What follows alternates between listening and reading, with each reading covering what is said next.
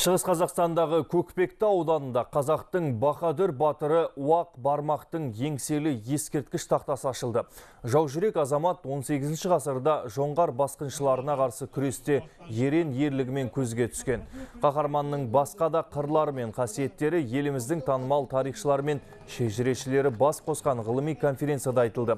Екі күнге созылған шара барысында Толағай сазы халық аспаптар оркестрі келушілерді ұлттық әуенмен сусындатты. Ал шабандоздар жорға және аламан бәйге бойынша бақ сынасты. Оза шапқандар олжалы болып, ақшалай сыйлық алды. Рухани жаңғыру бағдарламасы аясында өткен ауқымды шараның ұйымдастырылуына Бармақ Батырдың 8-ші ұрпағы Қуандық Нұршин мұрындық болды.